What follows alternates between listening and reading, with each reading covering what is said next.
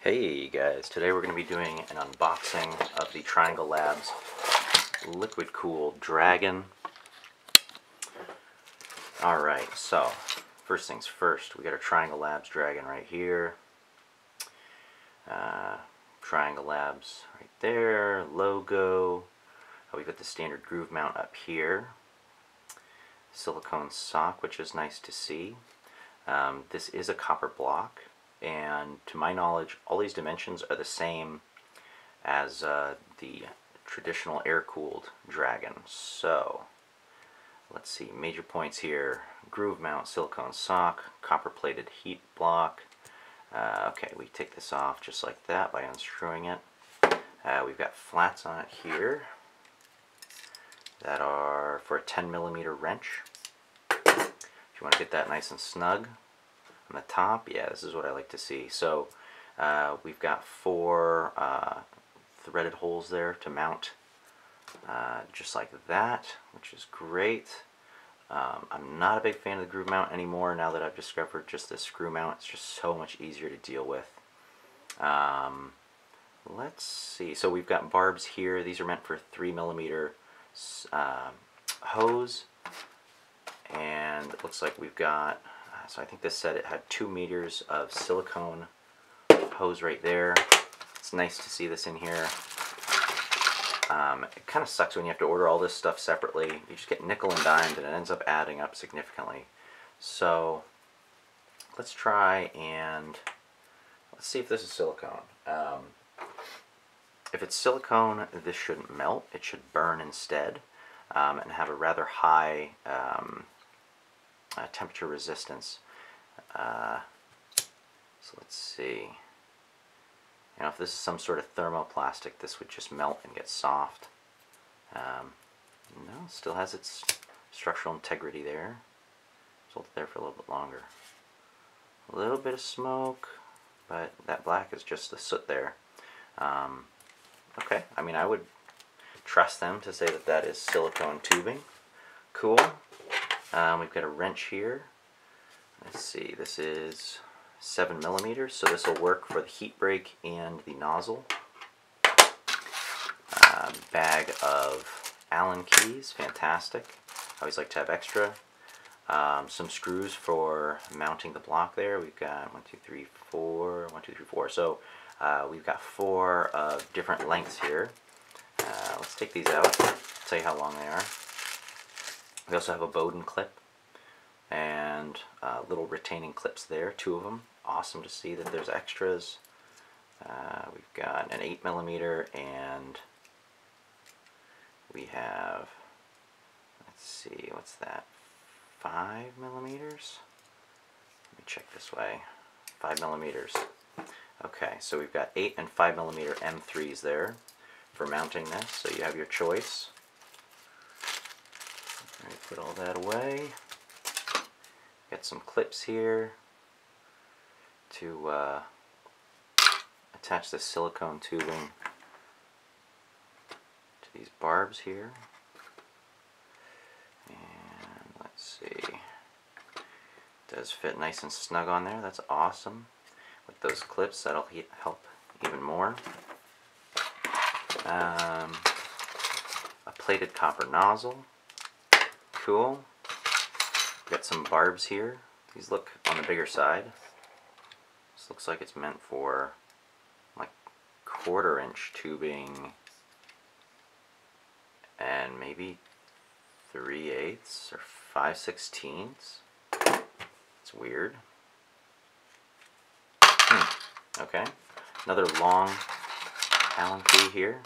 I don't know what that's for. Um, now let's get to the interesting part. So let's get inside of this and see what's going on with that heat break.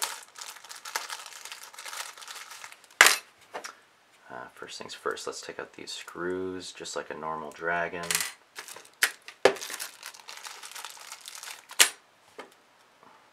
Okay, nice. They're not in there too tight. Sometimes when these get, you know, if you put these in there too tight, um, you know, you can strip that aluminum heat sink um, I like to actually leave them pretty loose to be honest. I know Dragon says to, or Triangle Labs or Phaetus they have instructions manual out there and they say to put red Loctite on those. Um, I actually haven't had needed to, had a need to, excuse me.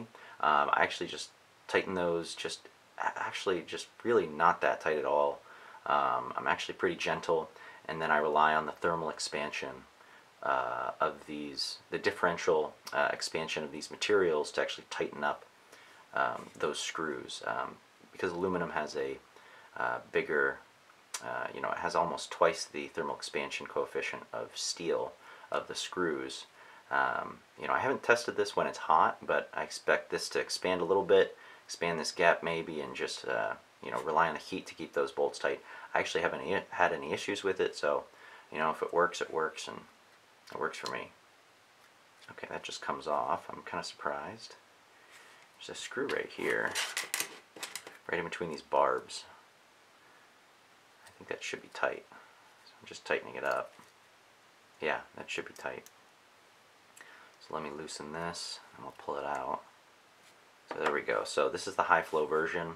Got a ceramic insulator on there. And just a copper slug on the hot side and on the cold side another little copper slug. And you're just relying basically on the uh, this gap between this slug and the inside of this jacket which you know it, it feels decently tight. You know it slides on really easily. Um, you know I think I would like that to be just a little bit tighter. Um, the tighter that is the better heat transfer you're going to have from the heat break to this water jacket. And then see this little groove. Zoom in here. You can see this groove right here. And this set screw in between these barbs this tightens into that little gap and holds it in place.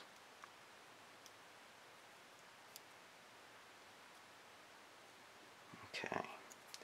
So now yeah that doesn't want to come apart. Oh, I forgot the insulator. Oops So let's take a look at the construction of this water jacket here, because I find this actually pretty interesting. So, um, this jacket here, this black part, this is all one piece of milled aluminum.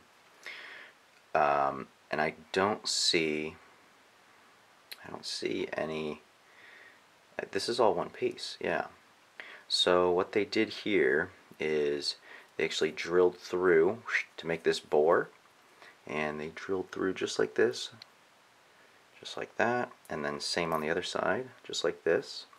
So now if we do a top view you would see that there's a drill hole through this way and a drill hole through this way. Not all the way through but just far enough. And then they drilled through see where this ball bearing is? They actually drilled through this side and then they plugged it with this uh, with this ball bearing and it looks like they probably, this is probably an interference fit so they get a decent seal. And so what you actually have is you just have a simple U-shaped passage going through this. So um, this uh, black block here is almost solid aluminum. There's just a couple drill holes through it. So um, it would be far more efficient if they had some sort of fin system in here, but maybe this is good enough. And uh, we'll find out once we actually go ahead and test this thing. Um, let's see, anything else to say about this? Oh, wait. Let's get a weight on this. Grab my scale. If I can find it.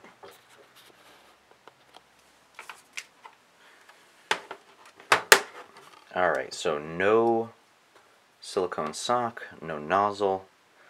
Let's see what this weighs. So without the groove mount, we're at 53.15. With the groove mount, we're at 58.8. With the silicone sock, we're at 61.3. And then we'll throw the nozzle in there so this thing is fully outfitted. We are at 63.6. So actually I'm pretty impressed. This is about the same weight, just like this, is the same weight just about as a typical Dragon High Flow. So I'm pretty impressed. I mean, considering that this thing is solid aluminum, nice, that's pretty good. Um, Alright, final thoughts on this thing. So, I mean, I'm excited to test it. Um, I'm going to be using it in an 80 C, 80 degrees C chamber, so we'll see what happens um, in there. Um, but overall, quality seems to be pretty good. Fit and finish is good. I've had really good luck with Triangle products. I really haven't had anything um, just come, you know, dead on arrival. So I tend to trust their design, engineering, and quality control. Um, but yeah, proof is in the pudding. So uh, maybe once I get my heated chamber delta up and running, we'll get a chance to test this, and uh, you know, we'll throw the thermal camera on this junction right here on the heat break, and we'll see actually what happens with this thing. Hey, one last thing about this. So, um, pricing right now, $93. Um, I bought it on sale on November 11th, 2021, and I think I got it for like 65 bucks. Um, so it's a bit more expensive than the typical Dragon um, air cooled, maybe by 10, 20 bucks. But compared to a water cooled Mosquito, man, you can't beat it for the price. Um, I think a water cooled Mosquito is something like, you know what, I'm not even going to say. Um, I'll just look it up and I'll post it right on the video, put it right, right here. And uh, we'll put the Dragon price right here. And we'll show you, you know, what the difference is. But um, off the top of my head, I think it's probably something like half price. So yeah, all right. Let me know what you guys think.